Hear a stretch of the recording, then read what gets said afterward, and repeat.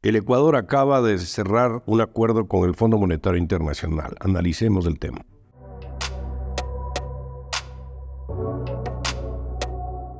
Hace pocos días se conoció un nuevo acuerdo entre las autoridades ecuatorianas encabezadas por el ministro de Economía y Finanzas del Banco Central con el Fondo Monetario Internacional. Se trata de un acuerdo a cuatro años plazo, un acuerdo que involucra un monto de desembolso de 4 mil millones de dólares y que tendrá que ser aprobado por el directorio de esa institución en las próximas semanas.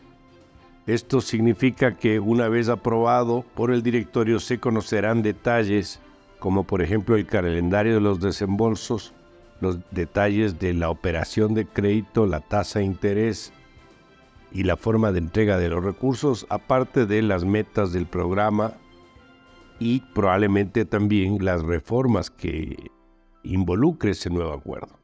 Pero en principio creo que es una noticia importante, debe sumarse a lo que ya se ha venido aplicando, como es el ajuste del IVA al 15%. Asimismo, las otras acciones que tienen que darse en el lado del gasto, puede ser que algunas de ellas estén incluidas en las decisiones de este nuevo acuerdo, pero de todas maneras sea por ejemplo en el tema de los subsidios, sea por recortes de gasto de otra naturaleza, creo que va a ser al final positivo y favorable para el Ecuador.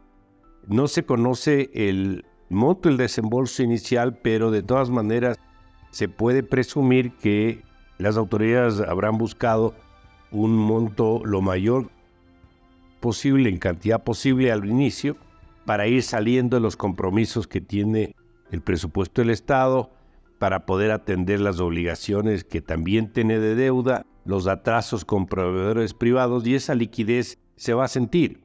Va a entrar al mercado, eso va a permitir que se atiendan ciertos compromisos de impagos y eso a su vez da lugar a que la liquidez empiece a sentirse mucho más abundante y eso sin duda va a ayudar a la situación económica. Así que desde ese punto de vista creo que va a ayudar. No creo que el acuerdo sea la solución de todos los problemas, ni tampoco el causante de todos los males, pero si es bien instrumentado puede ayudar. Y a esto se sumarán más recursos, ya se sumó 800 millones de la CAF.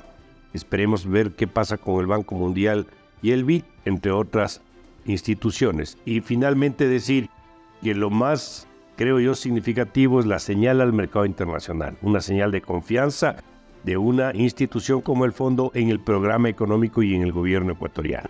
Muchas gracias.